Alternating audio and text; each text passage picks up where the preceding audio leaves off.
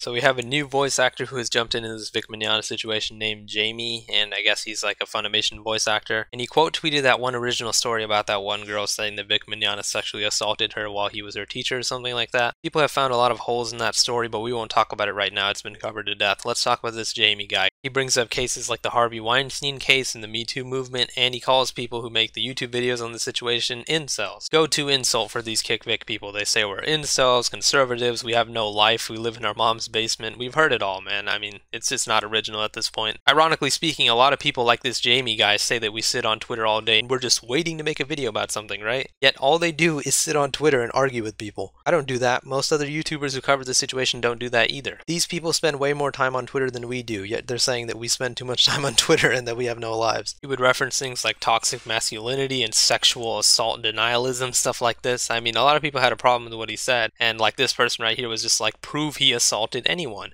And then he just says, You're a rape apologist. Bye, dickbag. How is this an adult? Like, I don't understand how these people are adults. It doesn't make any sense to me. Someone asks you to prove that he assaulted anyone, even if you want to say, oh, the proof is within the stories that the women told. Why didn't you just say that? But you're like, oh, you're a rape apologist, bye, dickbag. These people are just looking to argue with people. Like, that is their goal. One thing that he kept saying over and over again was YouTube incels and nothing has been proven false, like he says right here. That is just a lie because so many things that Monica Rial has said has been proven to be a lie. If this guy disagrees with that statement, I will happily show him everything.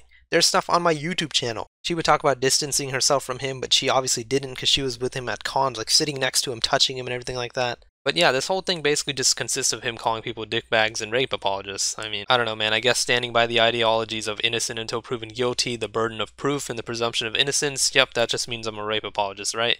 Great argument, man. You're definitely proving your point. You're definitely showing everyone how mature you are. Yeah, we should all just listen to you, man. The guy who calls people dickbags for disagreeing with them and telling you to prove your statements. I've already said this multiple times, but I don't know what is up with these voice actors and like these Xbox level insults. Like you're calling us virgins and shit like over the internet. I mean, that just shows how insecure you are about yourself if you have to try to insult people based on their real life online. I don't know, this is just a very pathetic situation. Like, I genuinely feel bad for this man, Chris Rager, Josh Martin. I, I, like, feel bad for them because, like, they disagree with us, that's fine. But they're so immature and hateful that all they want to do is just insult people, call them virgins, say they live in their mom's basement. I mean, it, it's pathetic, man. Like, you guys just need to grow up. It's genuinely sad, man. Like, I expect this behavior from, like, kids, but you guys are adults. You guys are professional voice actors. But this guy's intention is literally just to start drama with people. Like, he literally wants to fight with people. Look at the tone, look at the way he's writing his tweets.